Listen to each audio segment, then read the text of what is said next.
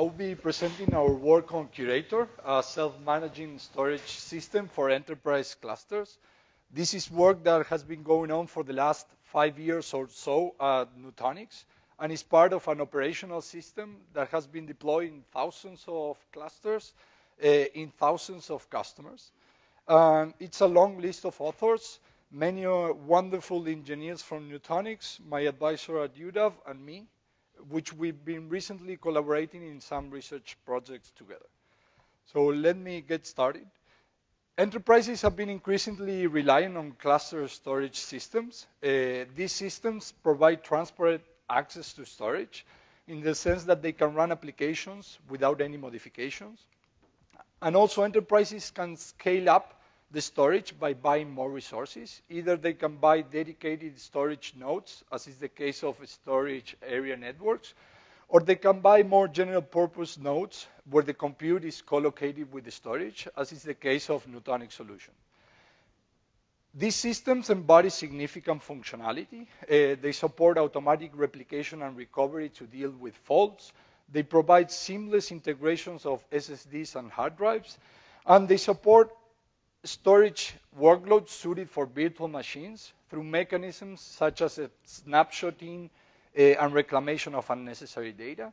And they also perform a bunch of space-saving transformations like compression, dedupe, and erasure coding, and many others. Closer examination of these tasks reveals that much of their work can be performed in the background in order to keep the I.O. path as simple as possible. So as part of this work, we pose the following question. What is the appropriate system support for engineering these background tasks? Uh, in this talk, I will go over Curator, which is a framework and system support for building background tasks. In order to realize this system, we face, we faced three main challenges. The first challenge was that we needed an extensible, flexible, and scalable framework that was able to support a broad class of background tasks and that could scale with the amount of storage served by the storage system. In order to address this challenge, we borrow ideas from big data analytics, but use them inside of a storage system. The second challenge is that we need appropriate synchronization between these background tasks and the foreground I.O. For this, we co-designed some background and foreground components. And the third challenge is that we need to deal with heterogeneity across clusters and even within individual clusters over time. And for this, we use reinforcement learning. So in the first part of the talk, I will go over the first two challenges, and then I will address the, the latter one. Um, so regarding this extensible, flexible, and scalable framework, uh, Nutanix built a distributed key value store that holds all the metadata in the system. The foreground work, which is done by this IO service component that you see in the left, coordinates with the background work done by this storage management component through this key value store. And this store supports replication and consistency using Paxos, and it's based on a heavily modified version of Apache Cassandra. And having this distributed metadata allow us to scale from small clusters to large ones.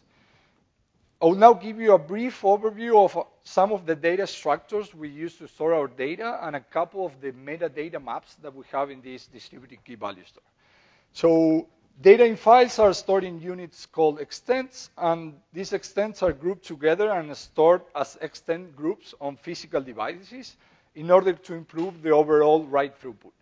So let's say, for example, we have a file and we have this 0, 1, 2, and so on, which represent offsets within that file. And that file has been written up to offset 3 with extents with ID 33, 44, and 56. And I have a, two metadata maps in this distributed key value store. One is called the extent ID map, which basically maps the extent ID to the extent group ID, which it belongs to, and an extent group ID map, which maps the extent group ID to the actual physical location of the replicas of that extent group and their state. So the idea here is if we want to find where extent ID 33 lies on disk, we first need to query this extent ID map in order to get the extent group ID. And with that extent group ID, we then need to query this extent group ID map in order to get the actual location. These multiple levels of redirection simplifies data sharing across files and helps with minimizing map updates. For example, if we need to move data from SSDs to hard drives, we only need to touch this extent group ID map. The second, main, the second main component to address this first challenge was building a MapReduce framework. Uh, we process this globally distributed metadata using MapReduce as it allows to perform efficient scans and joins of metadata tables. And these MapReduce-based scans provide us with a system-wide knowledge of the metadata that we use to perform various self-managing tasks. I will give you a I will show you an example of how we use this MapReduce framework to do tiering. Tiering is a task where we try to move code data from a faster storage tier to a slower storage tier. For example, from SSDs to hard drive or from hard drive to the cloud. And the idea here is to try to keep the hot data in a faster tier, for example, SSD, in order to try to reduce the overall user access latency. In order to do this, we need to identify the cold data, and we do so by using MapReduce. These MapReduce jobs will need to scan the extent group ID map, which contains the modified time of the extent group, and it also needs to scan a special map called the extent group ID access map, which contains the access time of those extent groups. So let's say, as an example, I have a four-node clusters with a four-node cluster with node A, B, C, and D, and a curator process running in each of those nodes with curator master sitting in node B. Each of these curator processes will be in charge of scanning their corresponding portion of the Cassandra metadata ring. And let's say I have the modified time of the extent group ID 120 in node A and the access time of that extent group in node D. Uh, and we want to figure it out if that extent is uh, extent group is cold or not. As we have these maps globally distributed, this is not this is not a local decision. So we use MapReduce to perform this kind of join. Uh, basically, in the map phase, we scan both of the metadata maps, and we meet uh, the tuple with extent group ID as the key and the modified time or the access time as the value. And of course, they will go to a particular partition based on the extent group ID. In this case, curator A finds the modified time for extent group ID 120, and curator D finds the access time for the extent group ID 120. In the reduce phase, we, re we reduce based on the extent group ID, where we generate tuples in the form extent group ID, modified time, and access time. And we, are, we have all the data there, so we can sort locally in that particular node and identify the call extent groups. Uh, in this case, let's say that curator C receives the data from the extent group ID 120. It forms that tuple. It will also receive all the modified times and access times of all the extent groups that belong to that partition, and it will be able to figure out which ones are cold or not. Uh, we implemented many other tasks using Curator, for example, disk failure. Here, the idea is that when a disk fails, Curator needs to find the extent groups that had a replica in that failed disk in order to replicate it somewhere else. Or, for example, disk balancing, which is a task that moves data within the same storage tier, for example, within SSDs, to try to keep the usage of the disks of that tier as balanced as possible. Uh, tasks like fault tolerance, garbage collection, and many others. There are much more details in the paper. So with this, we address challenge number one, Let's move on to challenge number two, this synchronization between background tasks and the foreground I.O. Nutanix dealt with this by co-designing background and foreground components. The idea here is that the I.O. service in charge of the foreground work provides a, an extended low-level API uh, to this storage management service in order to perform the background man- maintenance tasks.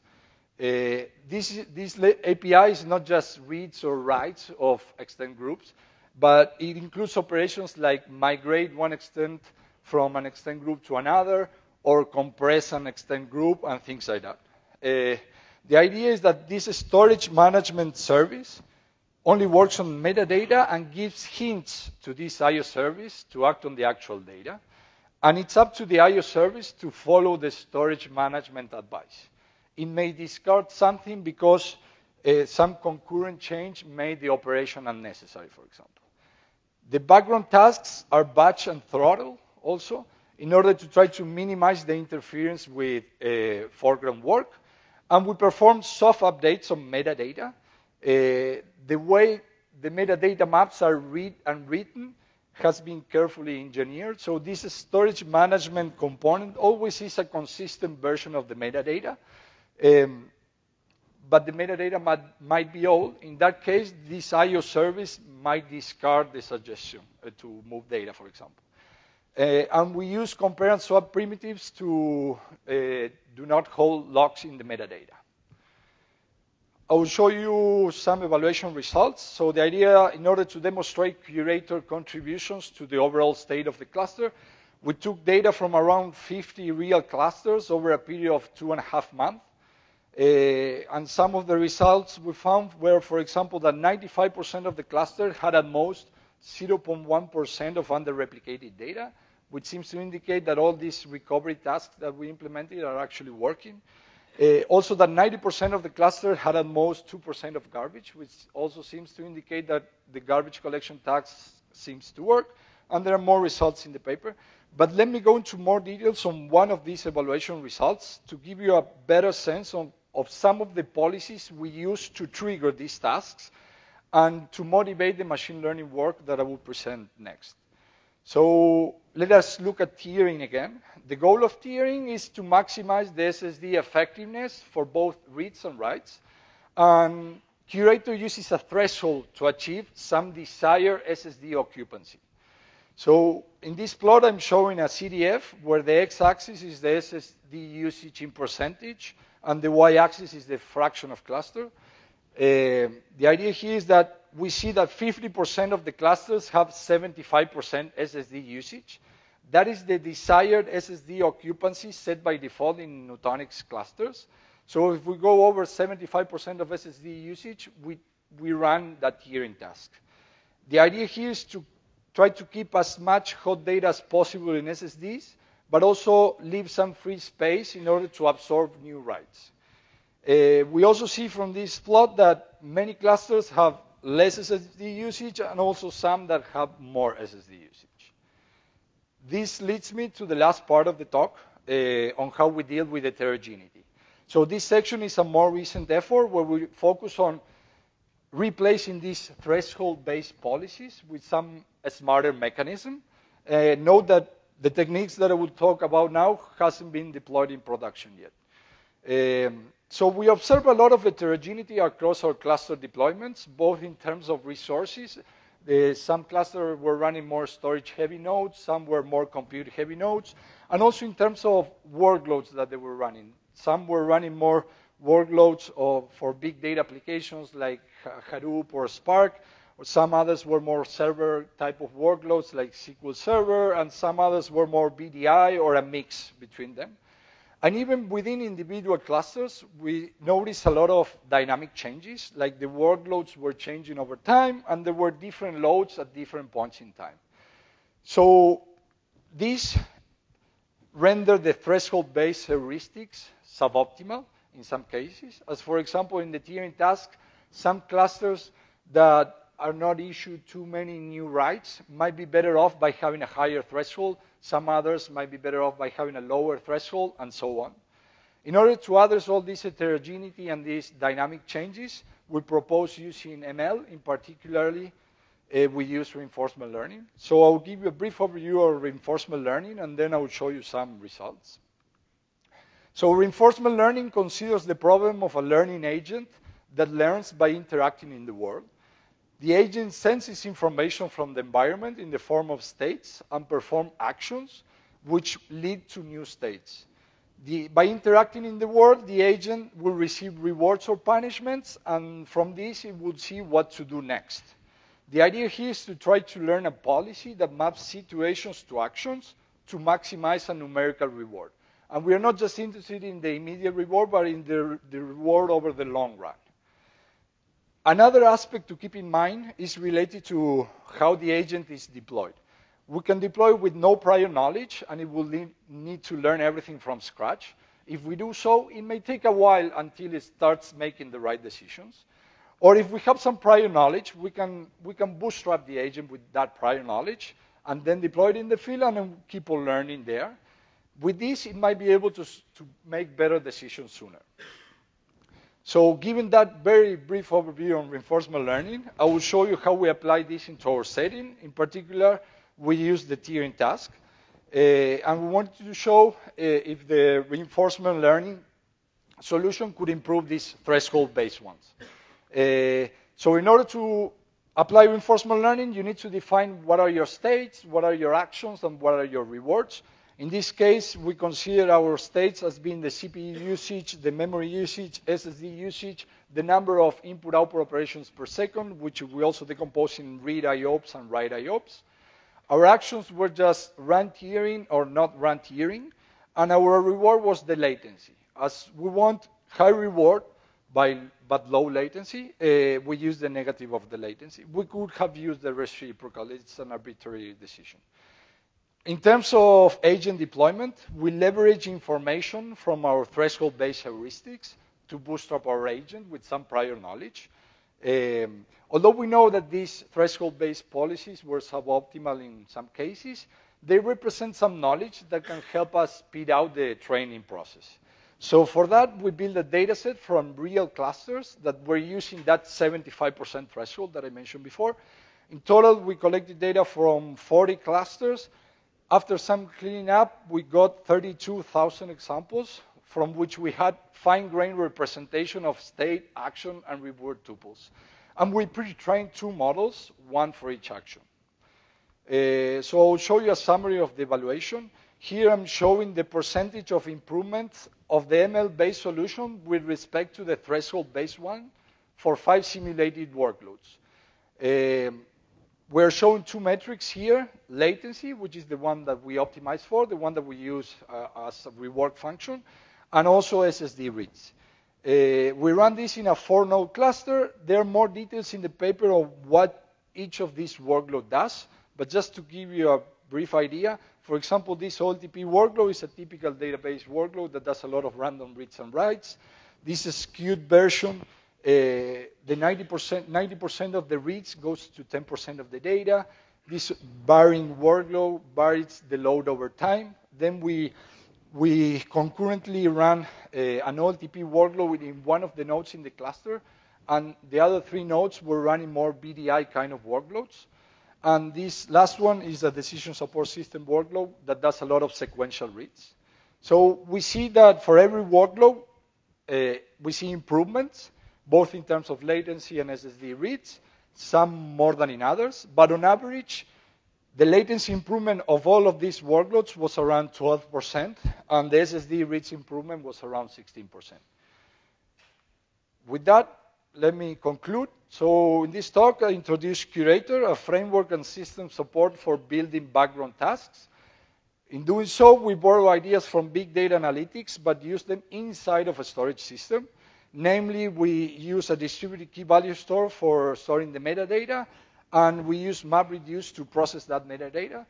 What I meant by inside, and I bolded there, it's because usually MapReduce, for instance, is built on top of a storage system. Here we are using it as part of the storage system itself. We also co-design background and foreground components. The IO service in charge of the foreground IO provides an extended low-level API to perform these background maintenance tasks.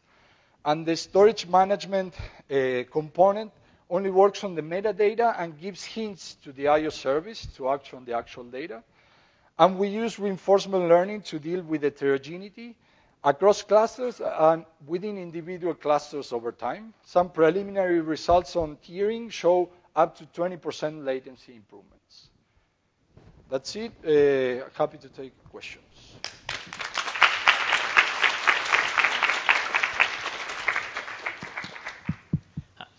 I'm Daniel uh, from. Oh, where you? Uh, you go first. Oh, sorry. Uh, I'm I'm Daniel from Dropbox, and I had a question. If you um, have, have, thought at all about uh, SSD wear or uh, like heat heat assisted magnetic recording, and basically the limited lifetime of disk writes, and if you think that that could be incorporated into this work. I haven't we haven't thought about it. it might be. We can probably talk afterwards and you give me some hints and ideas, but we haven't thought about it yet. Right. Uh, Hongzi Mao from MIT. Uh, I'm interested in your reinforcement learning work. And you were mentioning that uh, you were collecting data from your cluster and then train reinforcement learning on it. However, reinforcement learning requires you to interact with the environment. The data you collect from the cluster is like the fixed data. I'm wondering where's the interacting part to the environment. You need to build a simulator or you run your training on the cluster. So how do you? So I guess the question is how we collected this pre-trained data to pre-train our model.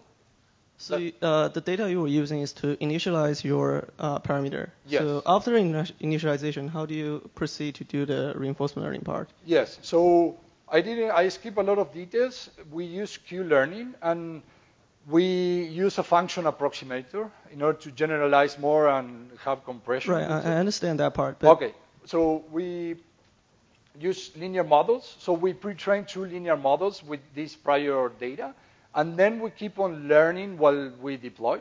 Let's say we perform some task or not in a in an online uh, setting way. Let's say we perform uh, an action, and we then collect the reward or so, and we update our model. That's how we keep on learning while the agent is deployed. So you do the training on your system. Uh, when the, when the system is running, you do the training online. Yes. So we have an offline training where we pre-train our model to bootstrap the agent, and then we keep on learning in an online fashion while the agent is deployed. Yes. How fast is your system involved if you do the training all the time and interact with the system? So um, what's the uh, time scale of the of the environment? So change? this, like the experiments that we ran, they were kind of in the orders of hours, and we noticed that at the beginning, they, like they were making dumb decisions, let's say, but after a couple of hours, it figured out that it needs to make better decisions, and the decisions made more sense. Um, I think you're asking how much does it long to learn, let's say? How much does it take for the agent to kind of learn? That's, that was the question? No, but, so uh, let's take the rest of this question yeah, offline. I can, I can Nacho will be offline. available right here. Two minutes. Yeah, nice talk. One so from NetApp. Um, I have a quick clarification before we go to the main question. So in this work, Hadoop cluster is a part of the whole HCI cluster, right? HCI is a storage industry jargon, but hyperconverged infrastructure where Nutanix is at. So you're using the same computing resources on the HCI cluster, right? Yes, this is a hyperconverged architecture where you have the compute and the storage in the same node. Yeah, so the second question is, you know, the main question is, you know, the MapReduce is a quite sort of batch oriented, right? So how do you deal with the update happens while you are running the job? You just ignore the update results? That's correct. Let's say, uh, uh, let's say you identify, for example, the cold data using a MapReduce scan, and then you call this foreground component that would be in charge of actually moving the data down, for example. If that component figures out that the cold data is not cold anymore, it's hot because some new read or some new write came in, it will just discard the operation. It won't do it, let's say it might cause some sort of stressing condition or like, you know? No. You know? No, we use these compare and swap uh, primitives in order not to hold lots of metadata. And we have these kind of carefully read and write orders of the metadata maps to always see, see a consistent snapshot, let's say. It might be old. In the case if it's old, the, the foreground component will discard the results. Good, thank you. Okay, one last question. Marco from KAUST. So this is very interesting work. I also had a question related to the reinforcement learning. So my curiosity here is uh, if you have looked into what it is that is being learned. That is, you know, ultimately uh, this is machine learning. So one could be, you know, some uh, some magic machinery that does what it is. But would like to know if you gain some insights into what it is actually that the policy ultimately is learned and whether you know that makes sense from the point of view of the operations. Yes. As a, to mention an example of a plot that we have in the paper, the idea there is that we have, let's say, for instance, when the cluster is highly utilized and you have, let's say, a, low latency, there's no need for you to run these tiering tasks, for instance, even if you go over 75%. Uh, but let's say in that plot, we show that when the, the IOPS were low in the cluster, and you kind of have high latency, okay, let's trigger the task and try to improve, let's say, the overall latency. In a sense, you can think of this as learning dynamic thresholds, uh, like uh, in, if that's kind of the question. And all of these policies that have been learned, do they make sense from an, an operational standpoint, or was there anything that you know would be non-intuitive and uh, defying common wisdom? I think it do make sense because we show some results from an operational system, and we show that we improve the overall latency, and also we were hitting more stuff in the SSDs. Uh, we need to test this with more workloads, and this hasn't been deployed. Uh, so I'm, my claim is that at least for these five simulated workloads, it seems to make sense and improve like results. Will you make, be making the traces available so that the research community Sorry? can look? Will you be making the uh, traces available so that the research community can also help out in that direction? Okay, that's a tricky question. I'm not sure. Probably if we can anonymize some stuff, uh, we need to talk with the Nutanix folks to see if we can uh, release, let's say, these data set. Thank you. Okay.